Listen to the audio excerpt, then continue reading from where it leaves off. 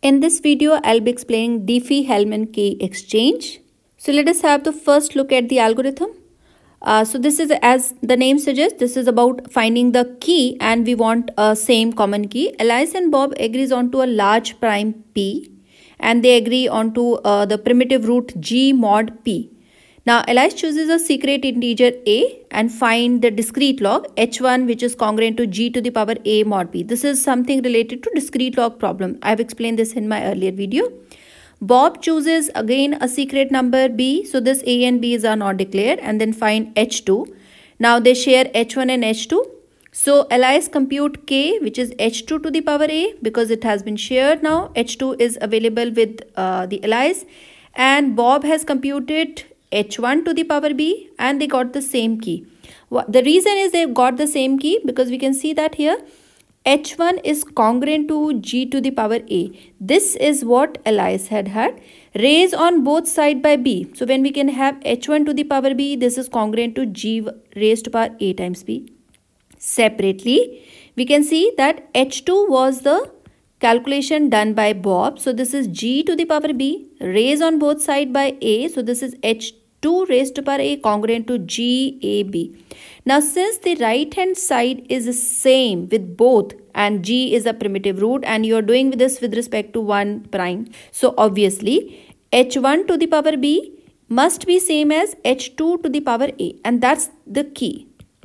So if h1 is uh, available with Elias or Bob so they can calculate and h2 and accordingly they get the same key the but the question here the difficulty with the uh, Diffie-Hellman is if we know somehow g to the power a if we know g to the power b of course with respect to mod uh, p then it is difficult to calculate g to the power ab mod b. It's not that easy to find that this is congruent to what integer with respect to mod p.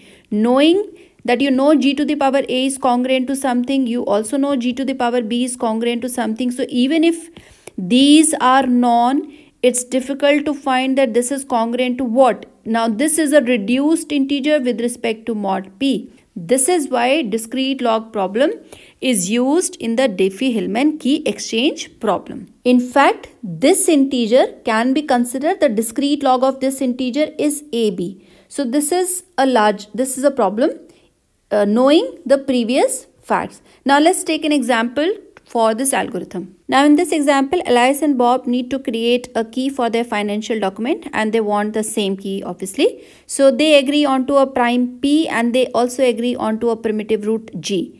Elias chooses the secret number 817 and this what we can call it as A in the algorithm and Bob chooses the secret number this this is what we call it as P. So because they both want to now they have uh, access to their secret number and they have P and G. So the first thing that Elias want to compute is H1. So let's calculate from here. Elias want to compute H1 which is congruent to G to the power A mod P and then on the side Bob also want to compute something h2 which is congruent to g to the power b mod b and then they will exchange their h1 and h2 let's first look at that.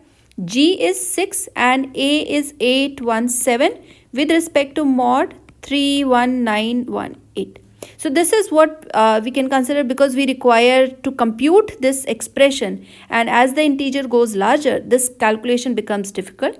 So we Elias calculate 16978. Then on the other side, H2 is calculated as 28349 which is congruent to G is 6 and in the exponent we have 23971 with respect to mod P that is 31981. So now these two are exchanged. H1 goes to Bob and H2 comes to Elias. So Elias calculate K which is congruent to H2 raised to power 8 because A is already available with Elias. Elias has not declared what is A and Bob has not declared what is B. So this is the information.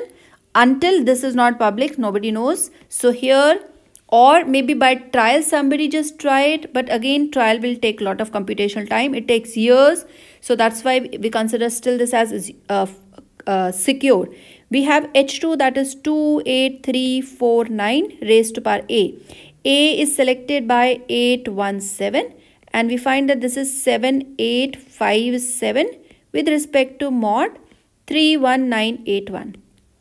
On separately, Bob calculated k which is congruent to h1 to the power b. h1 is shared by Alice and b is already available with the Bob. So h1 is 16978 raised to power uh, b. b is 23971. This is congruent to 7857 with respect to mod 31981 and both of them agree on to this key 7857 we can see that both of have got the common key and this is how diffie hellman key exchange works